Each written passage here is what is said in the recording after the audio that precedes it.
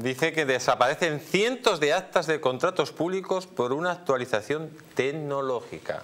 Atención a esta noticia, que ha desaparecido cientos de contratos o de actas de contratos públicos por una actualización tecnológica. Tenemos al otro lado de Sky al señor eh, Gabriel Araujo. Buenas noches, ¿cómo está usted?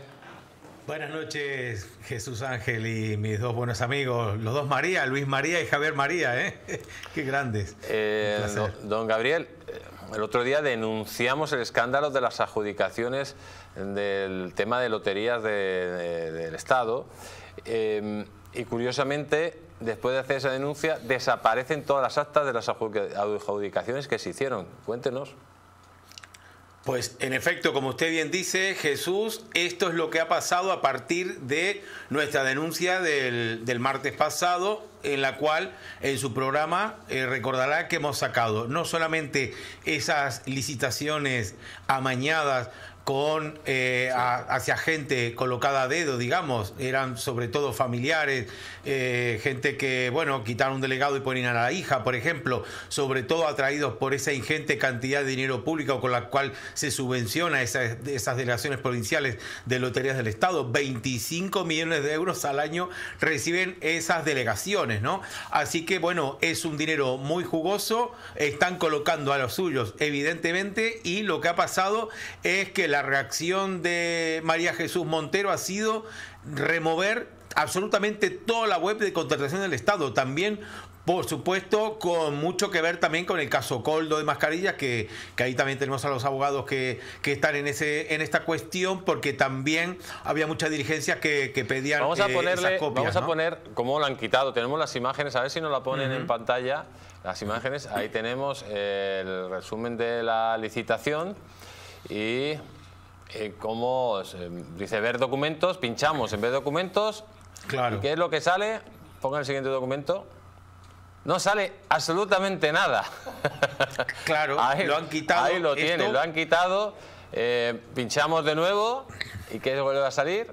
Ahí tenemos más documentos, volvemos a pinchar y miren lo que salen, amigos. ¿eh? El gobierno de transparencia, el gobierno de, de la verdad absoluta. ¿Cómo tapa todo, señor Araujo? ¿Qué opina de esto? Pues que ha sido en 48 horas de sacar nosotros la noticia esta, eh, Jesús, además aportando, como estamos viendo, el resumen de esas licitaciones con ese dinero, incluso con las fechas, porque han removido del 2022, del 2023 también, es decir, absolutamente todas, todas las licitaciones.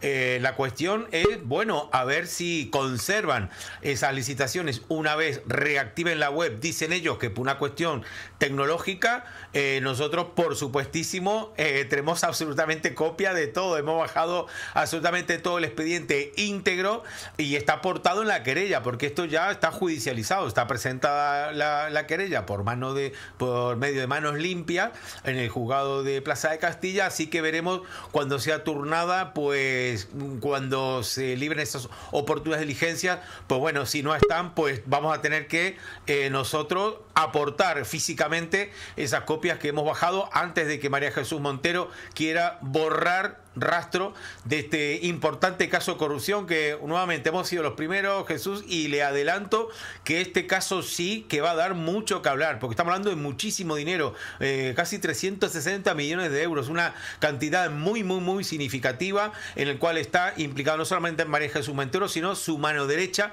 Jesús Huerta, eh, que era su compañero dentro de la Junta Andalucía, y es un señor que es el director de Lotería del Estado y que cobra la nada despreciable cifra de 20 mil mil euros mensuales. Mensuales se lleva este individuo por, por estar en Lotería del Estado. Y ya para terminar, eh, tengan en cuenta también que ha habido una publicación de hace un par de semanas vinculando un rastro de dinero negro que no se puede, eh, que ha perdido Hacienda precisamente a través de Lotería del Estado. Así que la pregunta es, ¿por qué están colocando a sus acólitos ahí o a sus compinches para después, a lo mejor, bueno, con esto que estamos hablando de los 100 mil euros de Alvise y tal, a lo mejor se pudiera estar blanqueando ahí con los temas de los billetes de lotería eh, una ingente cantidad de dinero. O sea que este puede ser un caso eh, muy, muy importante de corrupción, ¿eh, Jesús? Pues Gabriel, mira, vamos a, poner ahora mismo em, lo que dice la página, a ver si nos lo ponen en pantalla,